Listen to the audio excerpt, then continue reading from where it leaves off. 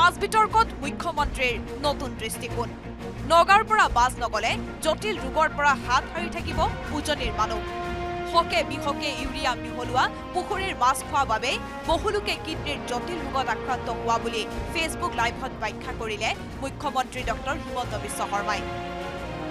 আমি স্বাস্থ্যসন্মত মাছ আমি খাব লাগে। অস্বাস্থ্যসন্মত মাছ খালে আমাৰ শৰীৰত ক্ষতি হয়।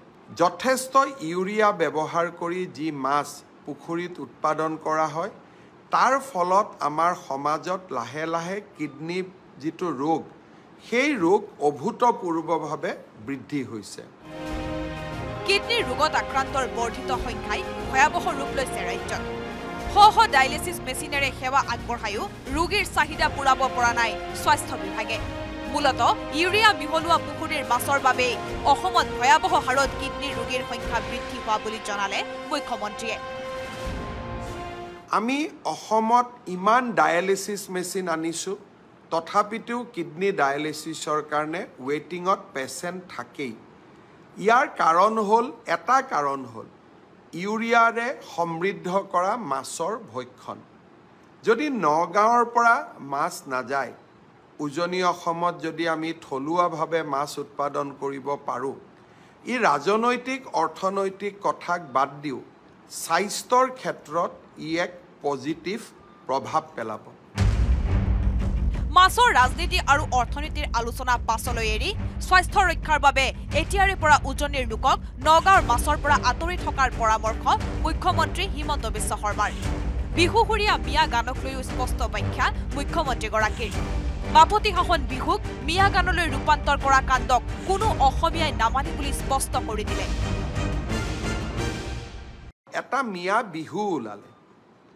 আমাক ইটিকিং কৰি গালি গালাজ কৰি ক'ৰবাত ক'ৰবাত আমাৰ সভ্যতা সংস্কৃতিক ইটিকিং কৰিও কিছুমানে মিয়া বিহুৰো প্ৰচলন কৰিলে।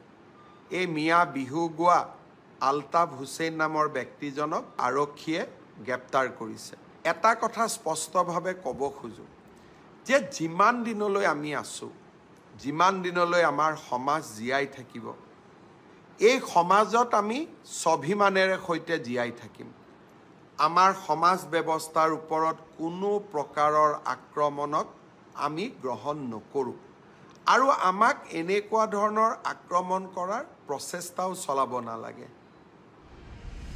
পুৰণি সমাজখনত জিন যাবলৈ হলে মিলিব লাগে মিলাব লাগে কিছু এৰিব লাগে কিছু ধৰি ৰাখিব লাগে বুলি সুধাকণ্ঠ ডক্টৰ ভূপেন হাজৰিকাৰ উদ্ধৃতি দিলে মুখ্যমন্ত্ৰী হিমন্ত বিশ্ব শৰ্মাই। আমি জিন যাব লাগে মিলিব লাগে মিলাব লাগে কিছু এৰিব লাগে কিছু ধৰি ৰাখিব লাগে। কিন্তু যদি এৰি দিয়াৰ প্ৰ- প্ৰৱণতাৰ পৰিৱৰ্তে অকল ধৰি ৰখাৰ প্ৰৱণতাহে হয় তেতিয়া কোনো জাতিয়েই নতুনকৈ অহা সমাজখনত জিন যাব নোৱাৰে। অসমত অসমীয়াই শীৰ্ণত কৰি কাহানি উজিয়াই নাথাকে বুলিও বিহুসুৰীয়া মিয়া গান গোৱাসকলক স্পষ্ট কৰি দিলে মুখ্যমন্ত্ৰীয়ে। আমাৰ বাপতি সাহোন বিহুটোকো যদি মিয়া বিহুলৈ ৰূপান্তৰ হয় কোন অসমীয়াই তাক মানি ল'ব?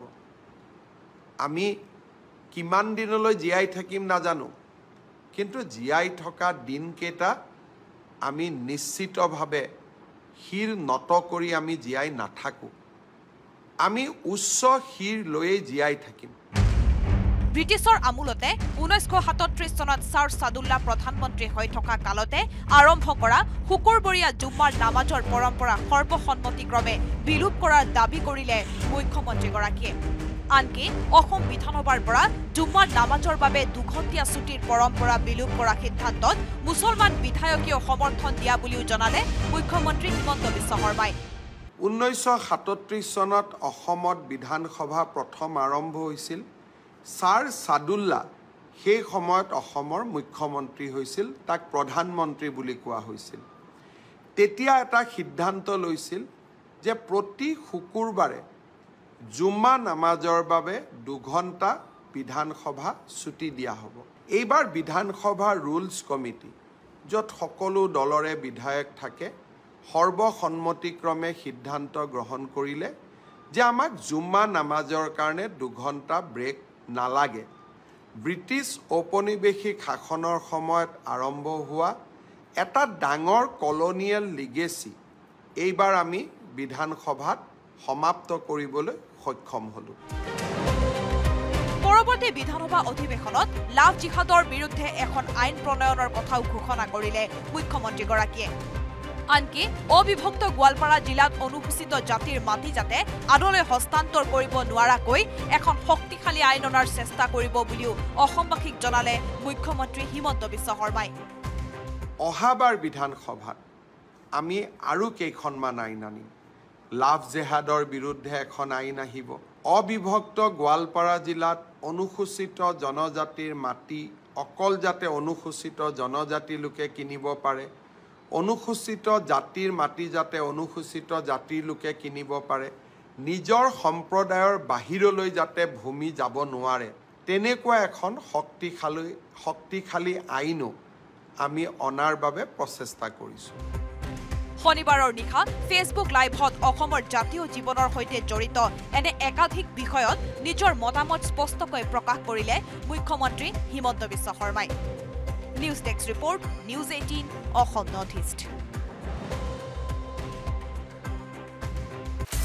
আপুনি বিচৰা বাতৰি পাব কেৱল নিউজ এইটিন এপত।